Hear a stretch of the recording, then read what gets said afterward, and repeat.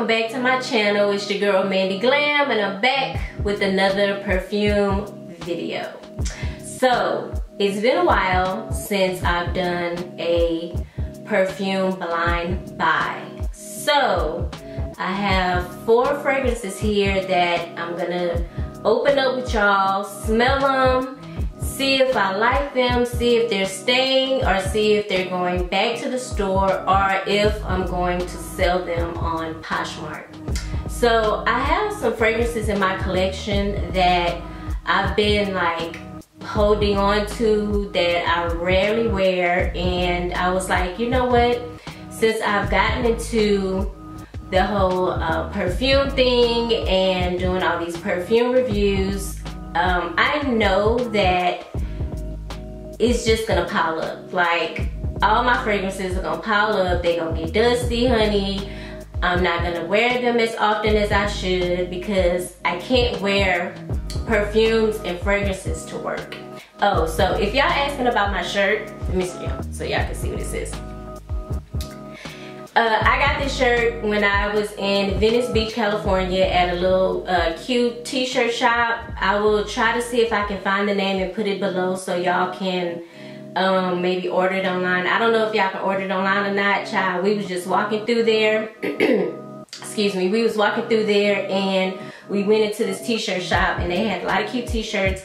It's somewhere in Venice Beach, California by that little area where they like work out. Muscle Beach I think that's what they call it, Muscle Beach. So anyway, so I know y'all gonna be asking me where I got this shirt from. So that's where I got this shirt from. It's my favorite t-shirt. So anyway, back to the perfume.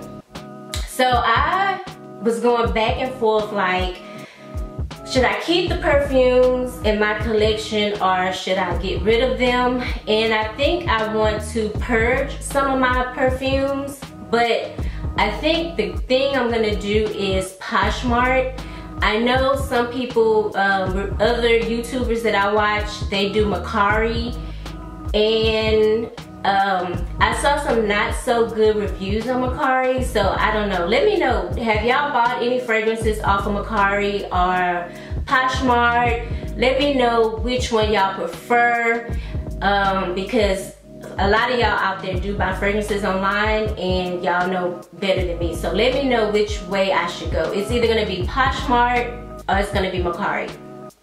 One of those two.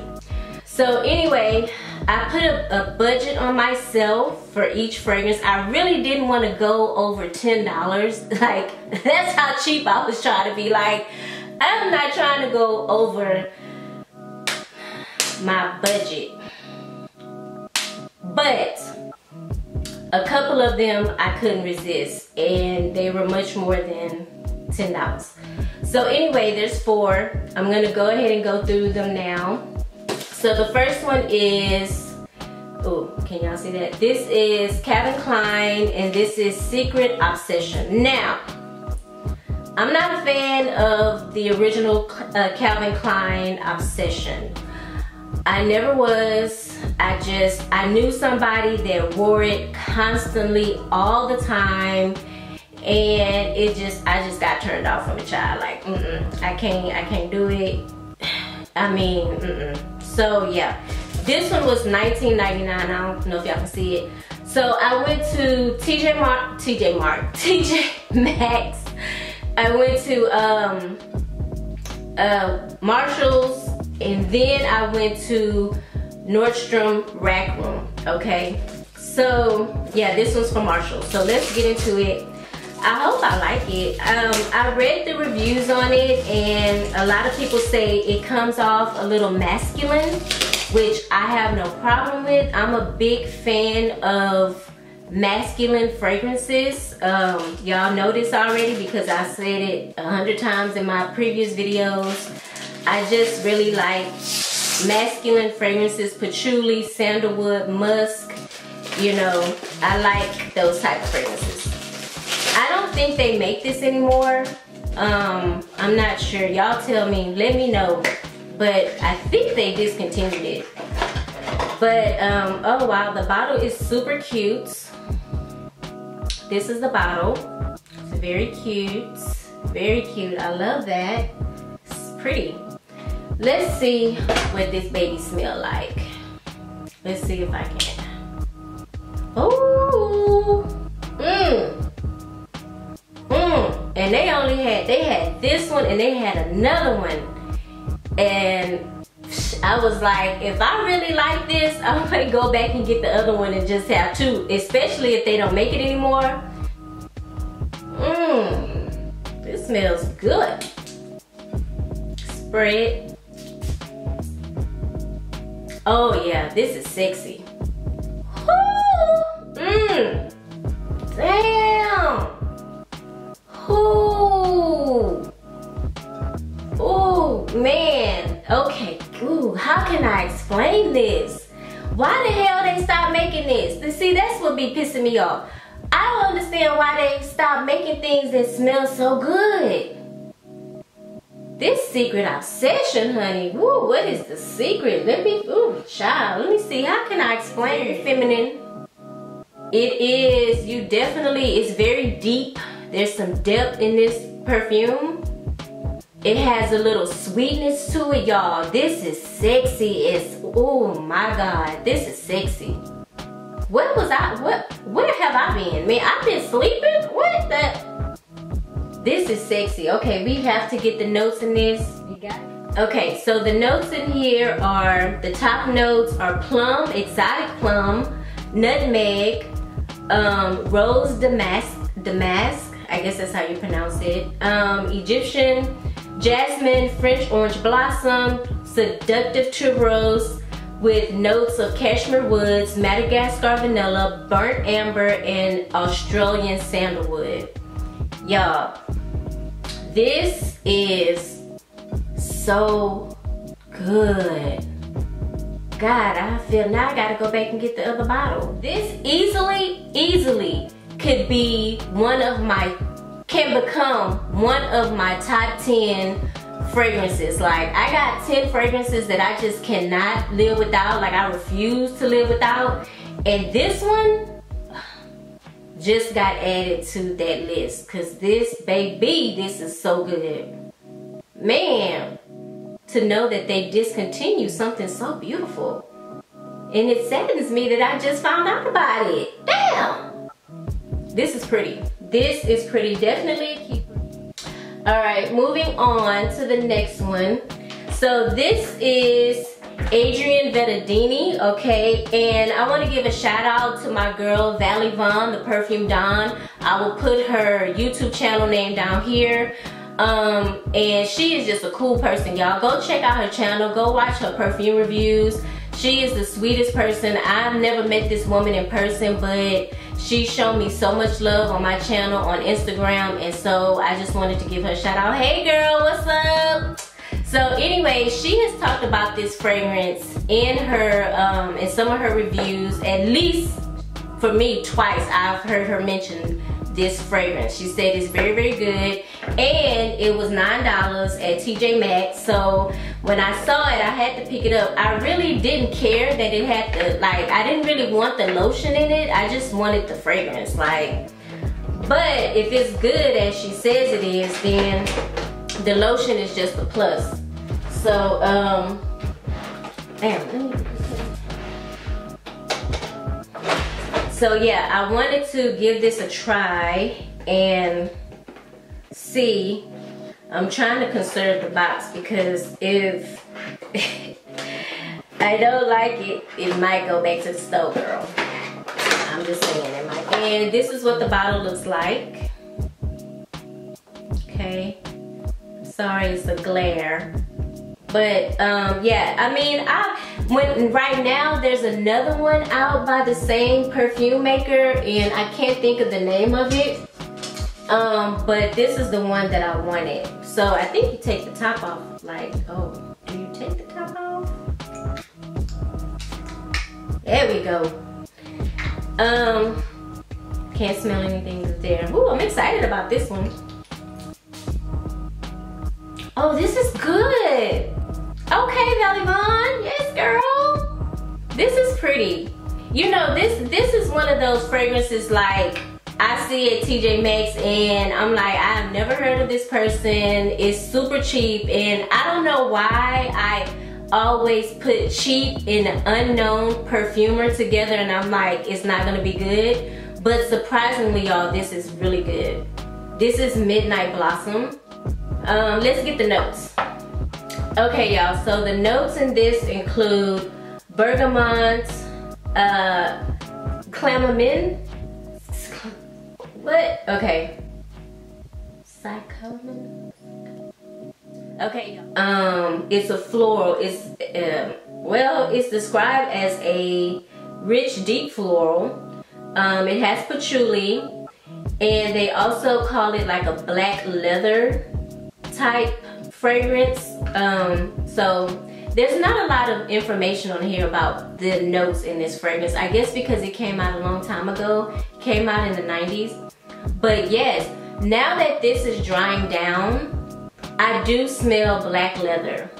This is definitely a black leather fragrance. Oh, you know what it reminds me of? It reminds me of Woman by Donna Karan. That's exactly what this reminded me of. I couldn't remember like what it was that was, you know, what I was trying to think of because it's very unique, it's very different. It's a very standout perfume. Nothing like anything that I own except for that Woman by Donna Karan. So yes, this definitely reminds me of a black leather jacket. So my next one is, um, I'll talk about this one. This is one I ran across. This is by Blocki. I know y'all can't see that, but it's B-L-O-C-K-I. I guess I'm pronouncing that right. This is Blocki. Um, when I researched it, I feel like I remember them in the review saying that this was like a niche fragrance. So I'm still trying to figure out exactly what niche fragrances are. Go ahead and comment below. I know y'all gonna help us decide and tell me what niche fragrances are. Does niche mean super expensive? Does niche mean indie, like an individual company that makes perfumes? Is niche like, what is niche? Help me out, let me know. So let's open this up. Um, now they do, when I looked up Blocki, this is an American made perfume uh, company that's been around since the 1800s. Um, and they are um, an American based uh, perfumer. And this one happens to be Saharet okay? I did uh, try on another one and I can't remember the name of it. I will put it down in the description box below. This, but this is Saharet. It's S-A-H-A-R-E-T Saharet. It has cardamom Egyptian geranium and green vetiver. Green vetiver. I don't know if I'm really into green. Um, I really want to be into uh, Issey Miyake. Um, I know Issey Miyake is a very uh, oriental um, fragrance to me. It reminds me of something green. It reminds me of a pond. I mean, I'm just saying like a pond, a lily pond. That's what Issey Miyake reminds me of. And I've just never been a fan of that whole um, Lily Pond fragrance. You know, like I said, originally 165 They marked it down to $44.97. And then on top of that, I got an additional 25% off. So that was good. I just went in there um, to see if I could find some gems. And you slide the box open like so. Okay, which is cute. I like that. Um, I love the bottle. Oh, look, it's green. You can look, it's green, y'all. Yeah, it's green. Oh my God, I hope I like this. This is the bottle. This is what it looks like. Can't smell anything. Uh-oh. Ooh. Ooh.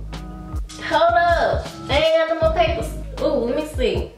Oh, I'm nervous. I'm nervous, y'all. I'm nervous, man, because I don't have no problem taking shit taking stuff back to the store. Ooh, okay. It's giving me, it's not giving me Lily Pond vibes, okay? No, it's not. Now, I'm gonna let it dry down a little bit because I feel like I feel like uh, it's kind of giving me uh, sweet pickle juice. I'm, I'm just being real with y'all. If y'all know anything about this perfumer, Blocki, comment below and let me know. So I'm gonna let it dry down. I, I'm actually gonna spray it on my skin.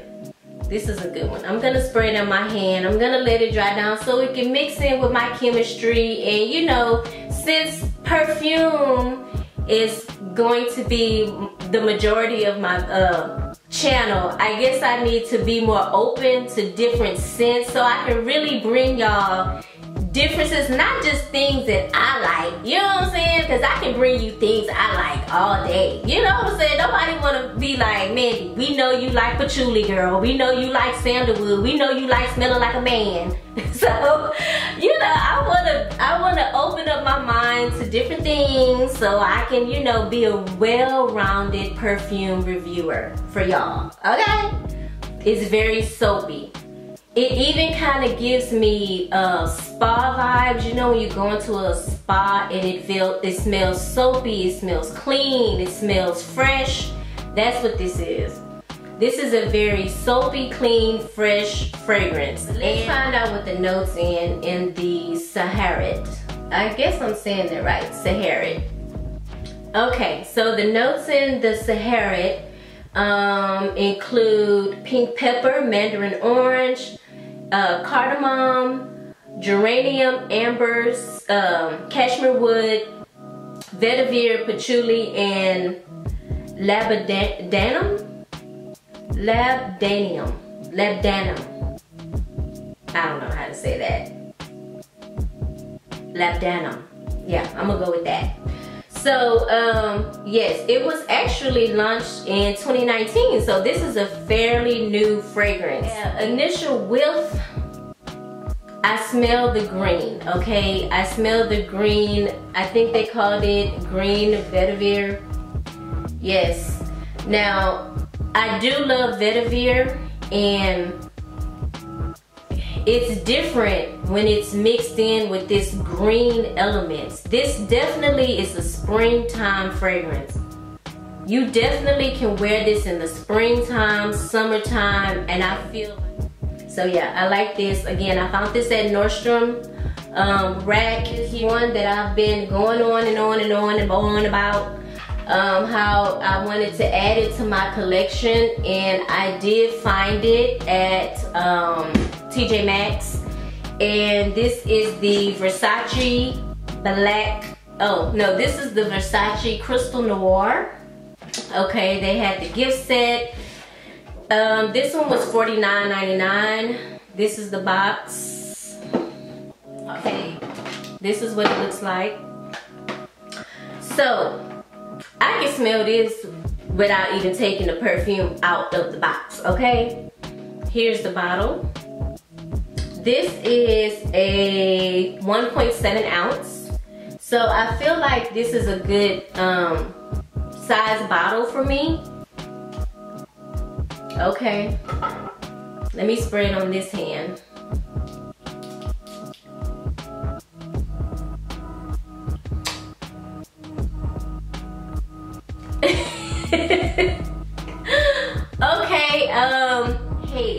Don't hate it. I don't want y'all to think I hate it.